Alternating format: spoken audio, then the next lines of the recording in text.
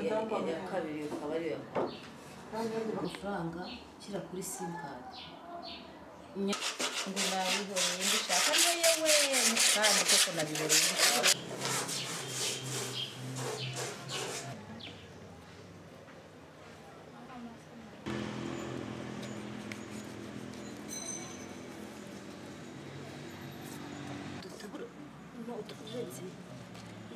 birakuyobeye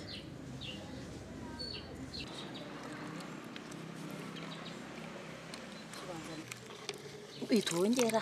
Ndagukubita we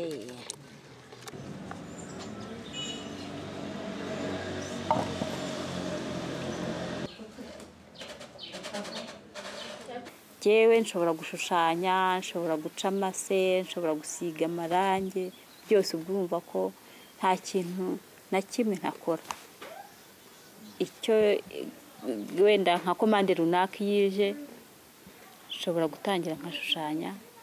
N'abandi nkabahereza cyangwa se perezidante agashushanya akaduhereza ibyo dukora ariko byose buri byose turabikora.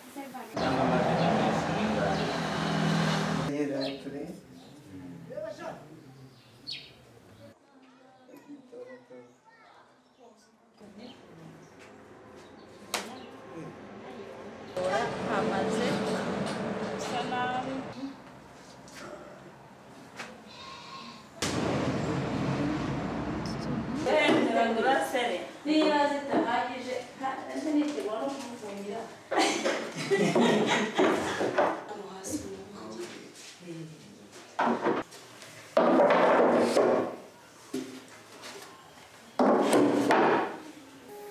inyungu ziratandukanye ku mwaka biterwa n'abakiriya twabonye hari igihe dushobora kubona inyungu nyinshi kubera ko ha- ha- ha- hagurishijwe byinshi habonetse abakiriya benshi hari igihe iba nke ntabwo ihora ari imwe ku mwaka ariko icy'ingenzi ni uko ah, aka kazi iyo gahari tugakora eh, tu- tu- tubona inyungu.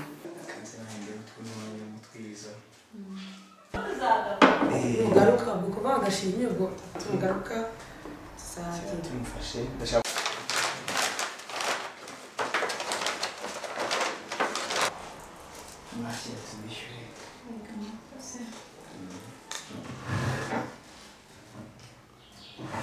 Iyi migongo narayikunze umudamu wanjye yaraduhashye bisanzwe ashyira muri salo abashyitsi nabo n'abashyitsi bakabishima bakambaza aho nadukuye munani twiza ubwo bituma nshoramo imari yanjye ntangira kujya ndangura ncuruza ariko urabona ko abakiriya bagenda babimenyera ni twiza cyane kabisa abantu baradukunze.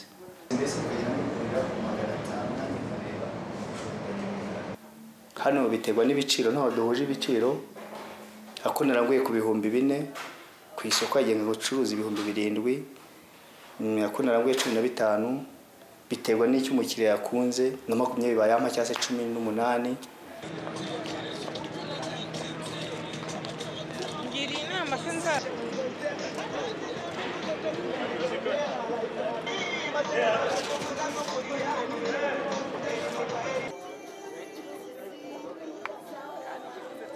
Imigongo rero ni ikintu abantu bose bakunda. Cyane cyane nk'abantu badakunda gutaka amashusho y'abantu mu nzu niyo mpamvu rero abantu bose usanga bayisangamo.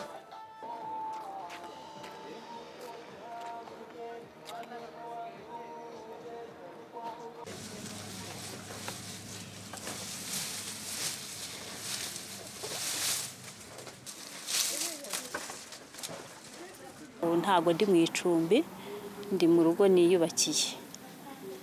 Eh, urabona ko eh, umusaruro nkuramo ngenda ndeba ibyo ibifatika mu rugo nakora nagura nkashyira mu rugo kugira ngo bizamfashe. Eh, na ziriya nka mubonye ni ni ubushobozi buva muri iriya koperative kuko umushahara cyangwa se ibyo tubasha kubona tugenda tugira ngo tugere ku iterambere.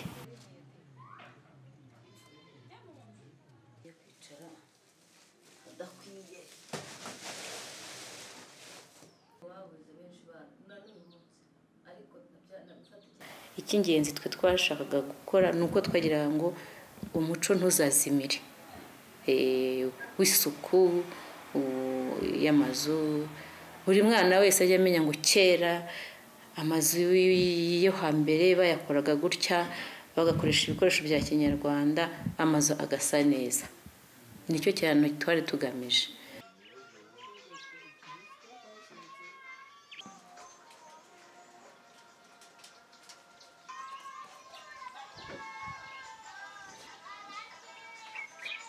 Les Migongo est typiquement rwandais. Il n'y a pas, il y a pas, il y a pas un autre, un art pareil ailleurs. Quand on compare un peu les, arts traditionnels qu'on voit ailleurs, tels que les, les qui font les, qui font les, signes et qui, qui, qui font dans les, formes géométriques, c'est différent des, des- arts des, des Migongo. Et aussi l'art euh, euh, australien qu'on voit, euh, de- de- des formes, c'est aussi différent. Donc c'est pour, moi, je, je peux dire que c'est un art qui est typique au Rwanda et qui identifie le Rwandais dans son milieu de Kakira.